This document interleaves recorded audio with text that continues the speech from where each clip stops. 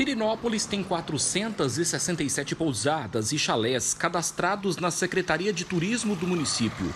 Praticamente todas estão sofrendo com a onda de golpes aplicados, segundo a polícia, por uma organização criminosa que cria perfis falsos nas redes sociais, parecidos com as redes oficiais das empresas, para induzir as vítimas a cair em golpes. Pirinópolis tem ainda cerca de 1.500 casas de temporada que estão enfrentando o mesmo problema. Os estelionatários se passam por donos das residências para aplicar golpes usando o Pix. Nesse final de ano a gente teve muita gente reclamando desses golpes, né, de perfis falsos oferecendo reservas aqui na cidade. Quando o pessoal chega aqui percebe que caiu em um golpe tanto pousadas quanto casas de veraneio. A gente observou o crescimento, um aumento desse número nesse mês de, no mês de dezembro e no final de, do ano, na festa da virada. Antes de fechar uma reserva, é preciso ter a certeza de que está negociando com o dono da casa de temporada ou diretamente na pousada.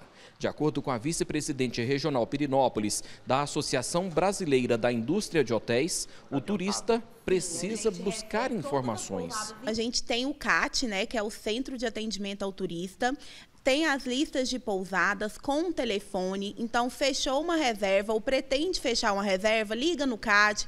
Ó, oh, estou fechando uma reserva na pousada tal, me passa o número para mim confirmar, né? O valor tá tal, eu quero confirmar. Juntando pousadas, chalés e casas de temporada, a cidade chega a oferecer mais de 15 mil leitos de hospedagem. A Luana foi vítima de um golpe. Exigiu que fosse enviado 500 reais como uma reserva antecipada. Nós reservamos, estava tudo certo, ela até conversou com a gente uns dias antes.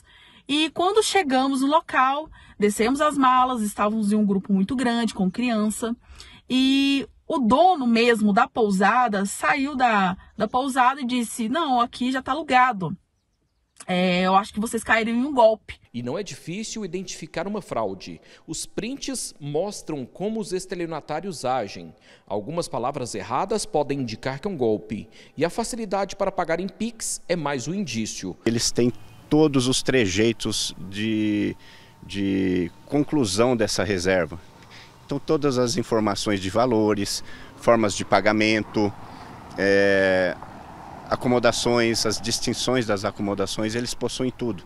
Até o perfil deles são idênticos ao nosso perfil oficial. A polícia não tem uma estatística fechada da quantidade de golpes, mas alguns casos registrados em 2023 chamam a atenção.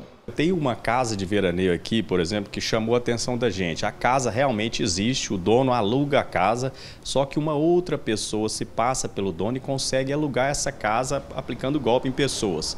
A gente observou que em Brasília foram 16 vítimas dessa casa e em, em Goiás temos 13 vítimas dessa casa só nesse ano de 2023. A gente tem uma pousada aqui em Pirinópolis que só no mês de dezembro ela teve mais de 30 vítimas desse golpe. Então é uma situação que está delicada, complexa, né? O pessoal tem que tomar um pouco mais de cuidado para fazer essas reservas, porque o golpe tá, tá muito frequente, né? E tem uma dica importante para quem busca se hospedar em Pirinópolis. A maioria das pousadas fazem reserva através do WhatsApp, certo? Tem algumas pousadas que fazem reserva através de Instagram, mas nunca mandando promoção, né? Antes de entrar em contato ou falar pelo telefone com os turistas.